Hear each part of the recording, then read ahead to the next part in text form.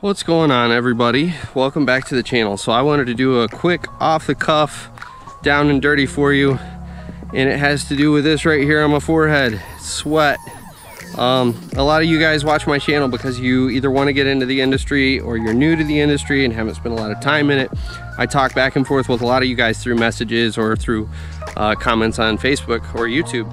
And one thing that I cannot stress enough in this industry is you're never too good for the shovel. You're never too good to sweat. A lot of us got into this industry and I'm not even calling out young guys because it's the exact same reason I like this industry. It's a, it's a tough, manly, man's world industry. I mean, this is, you, you get out here with heavy equipment, with big machines and you're, you're on job sites and you know, that's exciting and that's great. And a lot of guys get all hyped about that. But as soon as that shovel comes out, all of a sudden, you know, they're not so excited about it.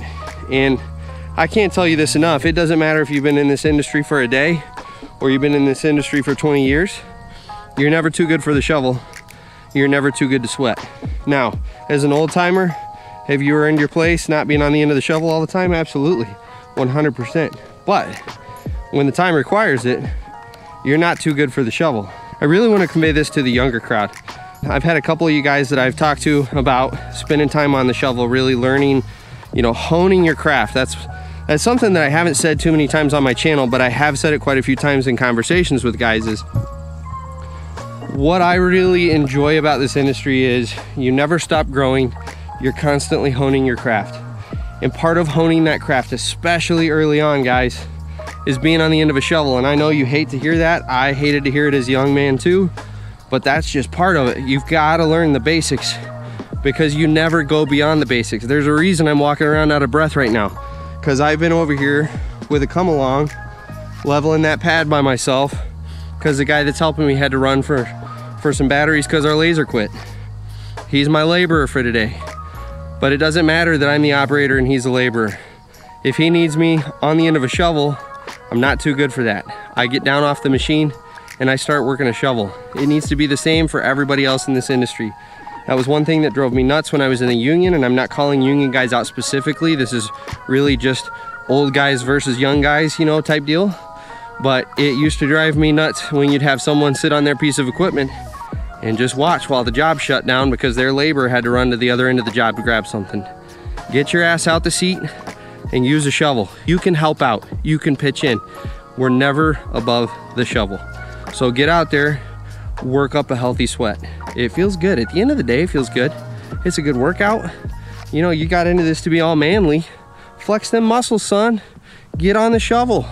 That's one thing about these young guys that cracks me up is they'll cry and throw a fit that they've got to spend all day on the end of a shovel, but then they turn around and go spend two hours in the gym after work. Guys, why don't you knock them out at the same time? Except that the shovel is a full body workout, man. You can't get a better workout than being on the end of a shovel accept that and roll with it.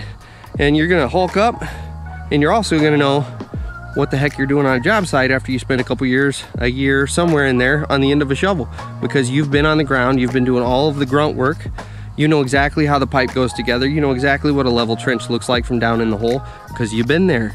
You spent time doing it. You know exactly how to hook a water line up or a sewer lead or you know exactly how to fit two pipe together down in the hole or you know when that excavator operator needs you to set the structure, how you need to go about it. All of that stuff is learned by being on the end of a shovel. And then down the road, if your top man all of a sudden has to go do something, and you've got a second, jump out of the machine and help out because you got the skills now. You've honed your craft. You know what you're doing. You're an expert. But it all comes from shovel time. So that's all I got for today. I just want to remind everyone, new guys, you're not too good for the shovel.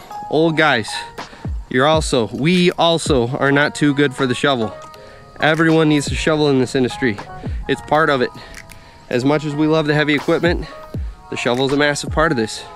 So get happy about it and let's go shovel some dirt. So I'm turning this camera off and I'm gonna go back and I'm gonna sweat my balls off some more. So you guys have a good one and we'll catch you on the next video.